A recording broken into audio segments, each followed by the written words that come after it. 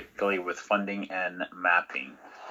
So I know Steve Fenske is out. Um, Scott, was there somebody else who was going to take the lead on this, or were you going to go through it?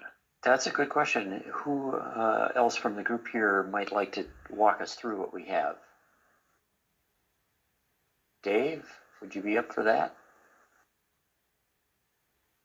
normally, but I don't have a voice today. Ah, got it. I can't see everybody, so I'm not sure who's who's here. But if there is somebody else from this group that would like to take it through, that would be great.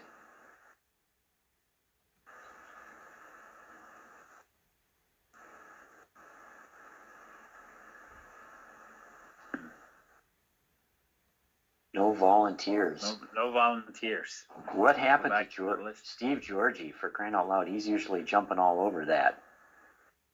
Yeah, there you go. Who's that talking? So I can try uh, fill in for Mr. Fenske, but uh, the best I can. Uh, outline of key challenges. Obviously, uh, we're gathering information on the uh, projected cost of reaching uh, 100% of Minnesota household. Certainly, is is uh, the number of households has increased uh, because of the way we're counting uh, habitable locations now, including uh, summer homes, lake places, etc. And uh, those are going to be more difficult locations, obviously, when we're talking about lakeside uh, locations, etc. Uh, there's definitely an increased cost of materials and delays due to the supply chain issues. And uh, cost per served uh, unit is going to be higher. Uh, installation cost to the harder to reach and unserved, underserved areas is certainly going to be higher due to geographical challenges such as ledge rock. And again, as we talked about, lakeside locations, uh, getting to remote locations. Um, loss of RDOF funding reduces the total federal investment dollars in Minnesota.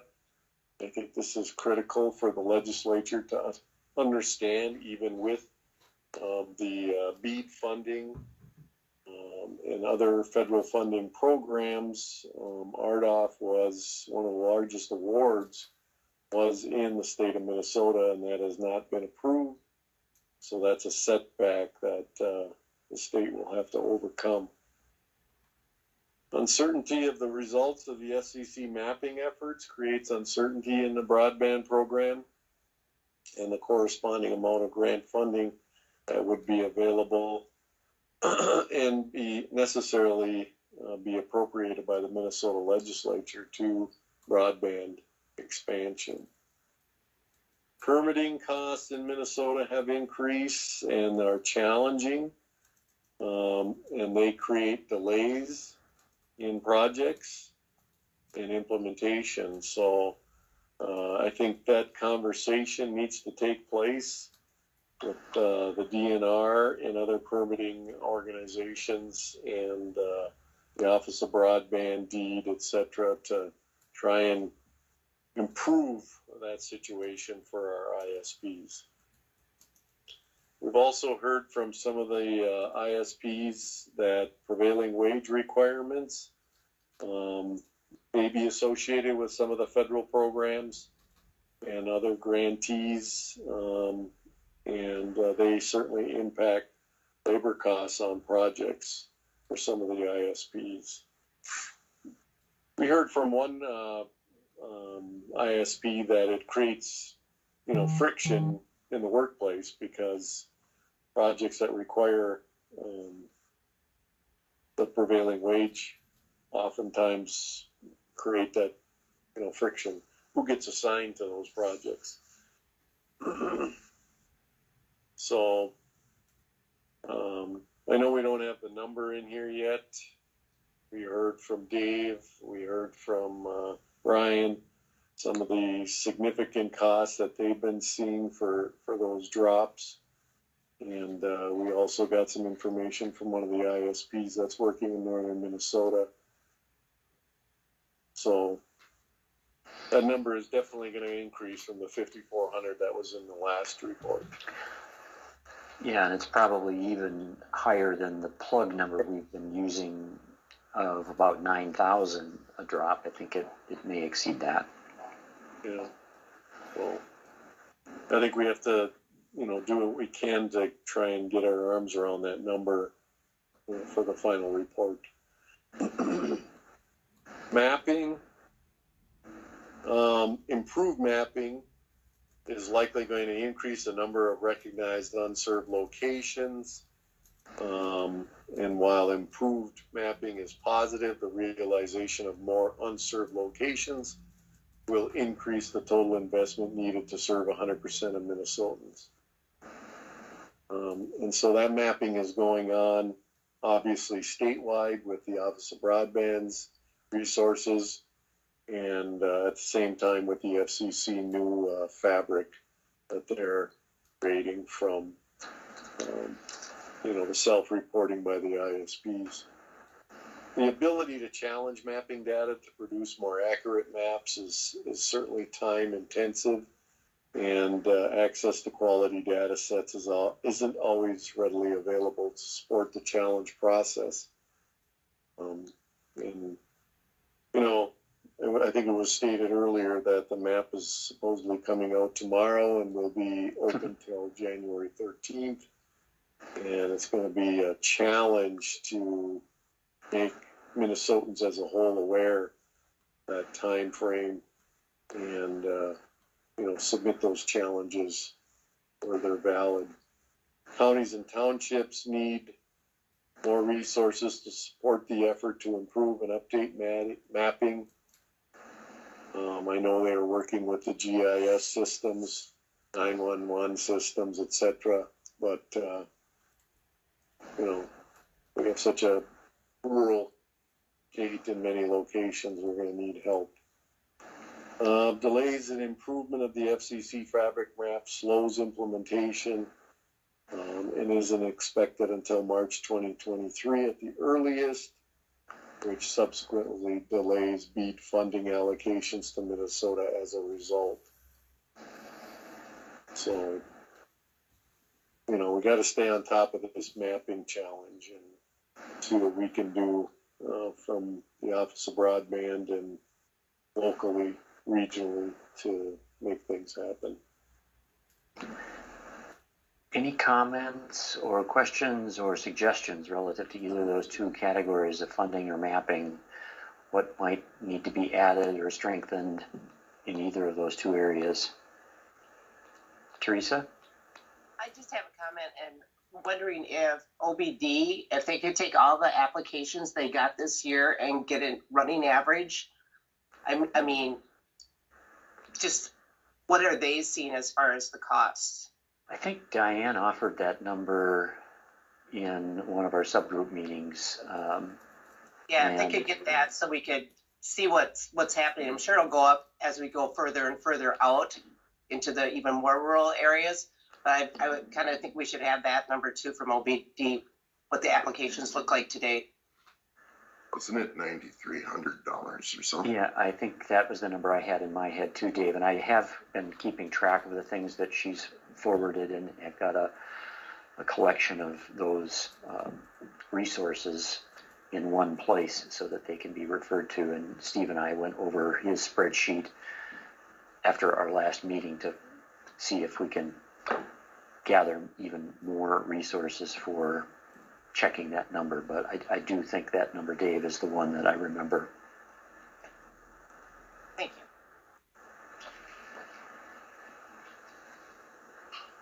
Good question, Teresa. Anything else from the rest of the group about funding, clarifications, suggestions, any ways we can strengthen those?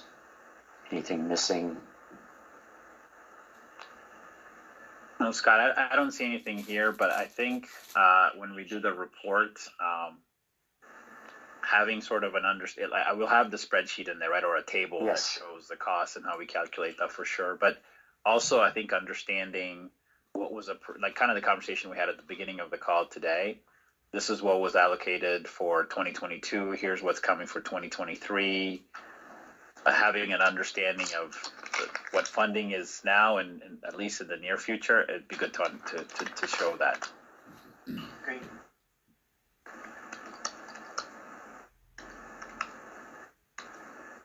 Yeah, the- when that graph also contain a historical perspective of what's been accomplished. Yes, we The we, program started and, uh, you know, the challenge that's still, yeah, we've got the one pager that Diane shared with us uh, recently that's got some really good stats on it. That's going to be incorporated into the report.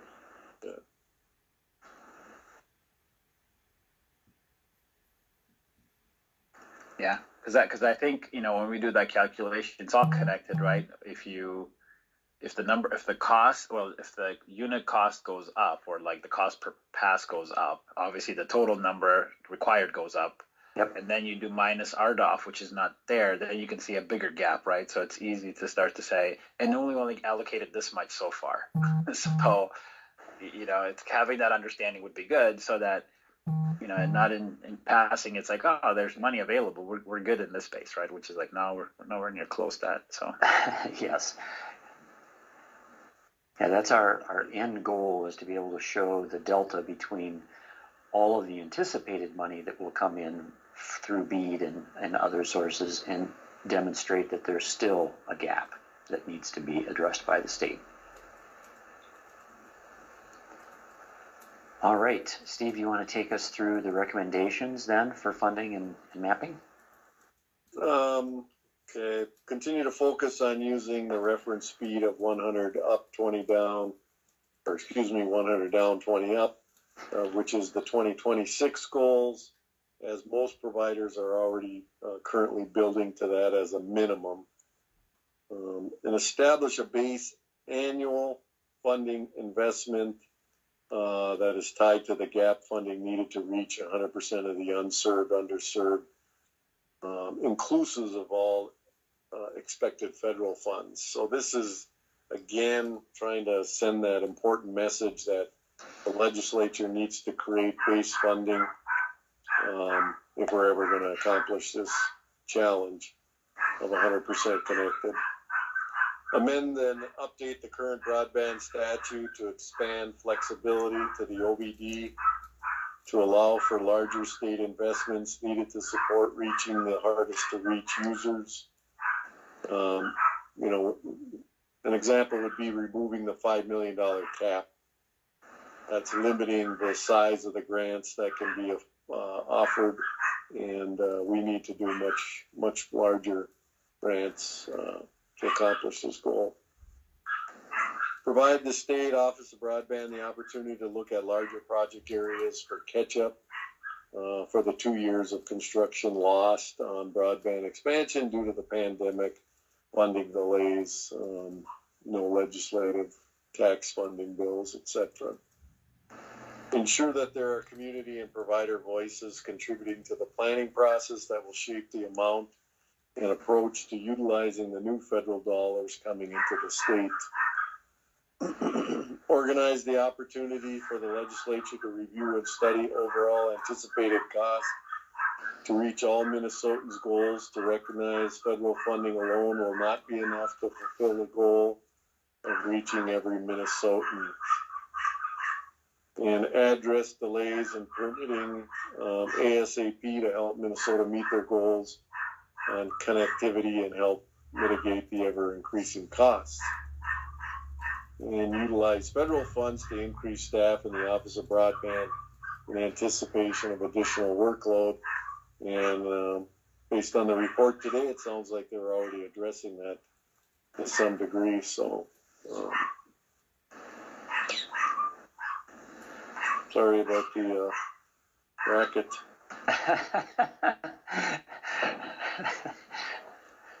Somebody give Buffy a treat.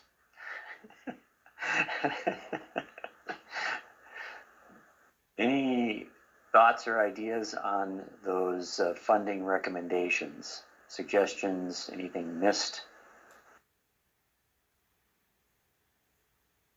No, nothing missed here. I, I think from funding perspective, once we do all the calculations, uh, just for simplicity, it'd be good to come up with like a solid number, right? Yeah. Like we, we recommend this for 2023, recommend this for 2024, 25, and 26. Probably good for four years, and just said this is what's needed to close the gap, just so that that can be our not only in the report but even our talking points going forward.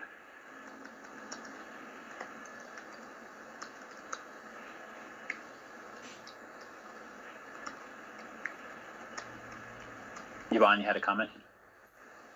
Yeah, I was just like, as we're talking about all this, when we talk about one hundred percent, we're talking about hundred percent wired broadband, correct? Or are we talking about one hundred percent broadband service?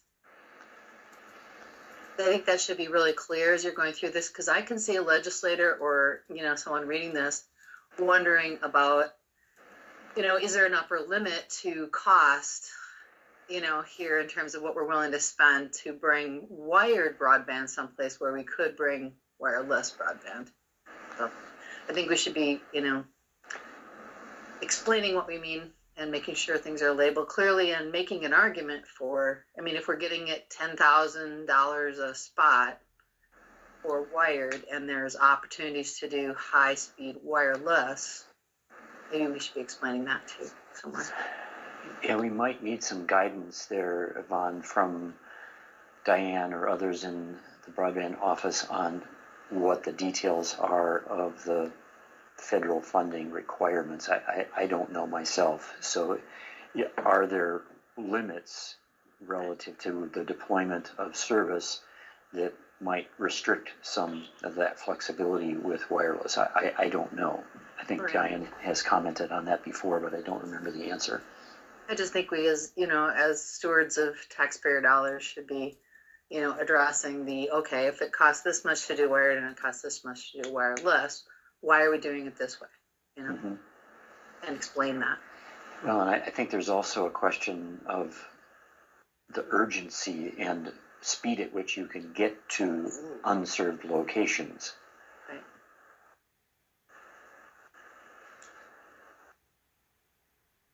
Any other comments or suggestions, questions about the funding recommendations? If not, we can take those last two, Steve, for mapping. Mapping, um, provide funding to the Office of Broadband Development to ensure there are effective processes for individuals and organizations to submit challenges to the FCC slash CostQuest fabric maps used to determine how much federal funding will come to Minnesota. Um, and that kind of goes back to the staffing issue that's uh, mentioned above provide funding to support engagement. Um, is it through the Office of Broadband with communities, counties, townships, or regions so that they are prepared for the challenge period with the FCC and have the capacity to respond? and again, because this is so time sensitive, um, I don't know that we have the answer.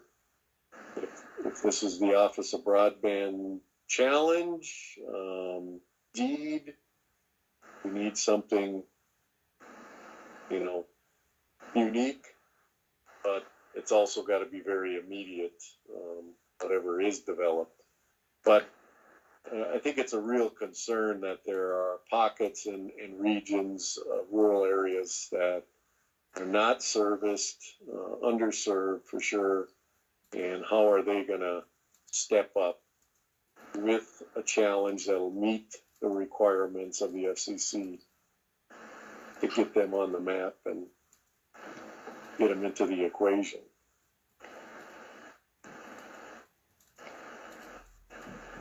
I don't know if there are other options, but that's a really great question, Steve, in terms of how urgent it is, how quickly the turnaround is as a recommendation for the next legislative session.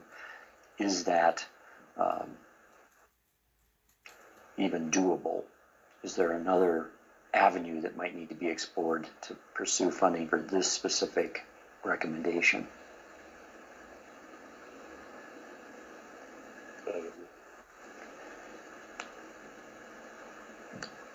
I think that's, you know, we need, we need something from the OBD on their thoughts and if they have the capacity or not. And Yeah, maybe, maybe some of the uh, eight hundred and eighty thousand of planning money might be utilized in some way, shape, or form. Don't know. Any other thoughts, suggestions, questions about the mapping recommendations? Anything missing?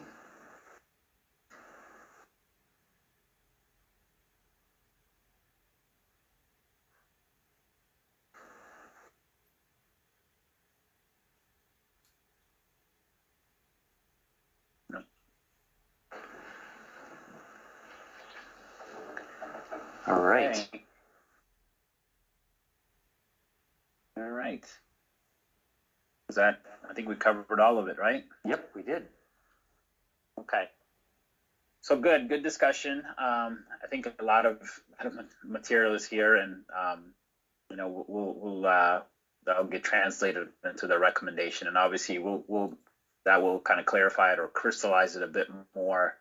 But, uh, but I really appreciate the discussion from everyone. That was, that was really good. And hopefully you found it worthwhile that we're doing this as a workshopping exercise and that we're talking about it together. Obviously it's good to have something on paper that we can, um, discuss and versus like just having the groups come up with a with a final piece. Uh, but obviously, we'll go through the next one. Scott, as you said, you'll get the information in. We'll continue to update it. Then we'll circulate the link again, and then you know we can we can send comments back and and see uh, where we land. And obviously, we'll look at the report when we get to the December meeting. Any other uh, comments or questions or concerns you have about the draft recommendations and the challenges and the overall uh, document for 2022? I would invite people to keep um, reviewing it in the coming days since we've had this discussion now. It's fresh in your minds. Please feel free to add additional comments, questions. If there's something not clear, I can circle back with you through our subgroups to make sure that people's questions get answered and would in, invite your additional contributions to it. Is anybody not able to access the Google Doc? If that's a consideration for folks, I can certainly provide uh, a version in Word.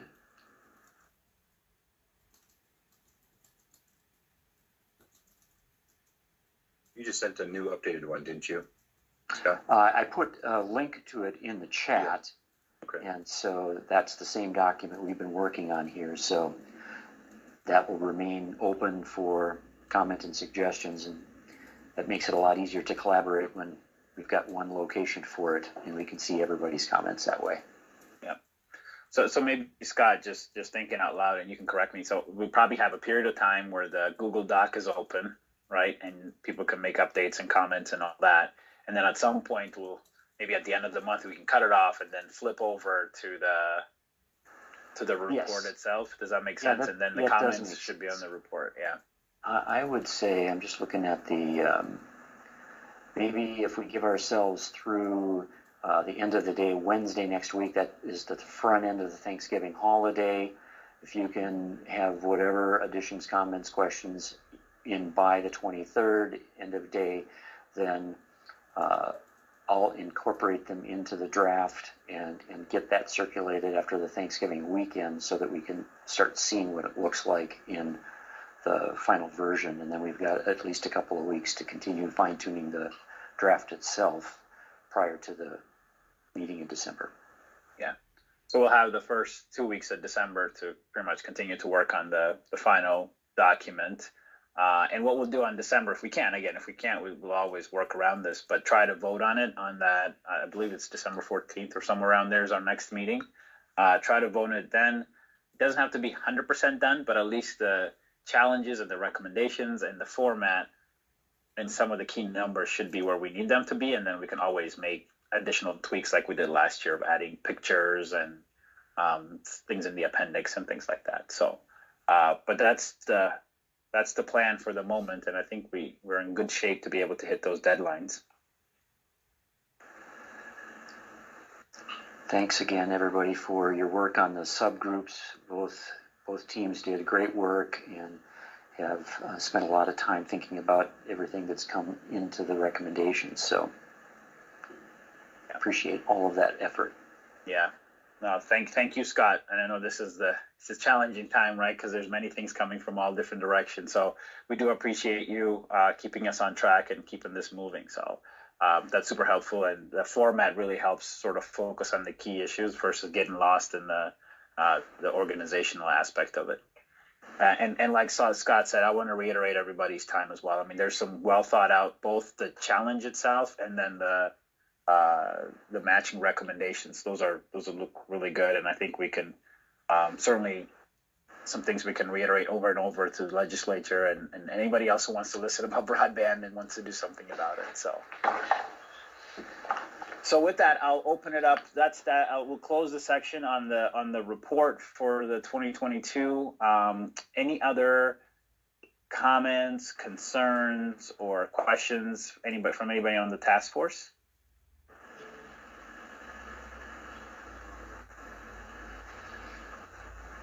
Okay.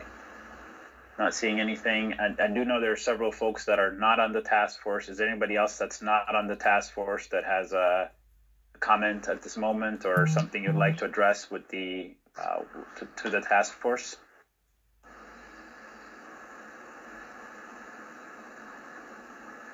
Okay, not seeing any hands up or anybody going off mute.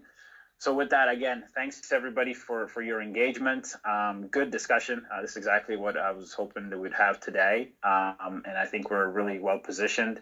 I hope you have a very happy Thanksgiving. Spend unplug and spend some time with family. I know I'm excited because we're not going anywhere, and I'm just going to be out doing nothing. That's the best vacation ever.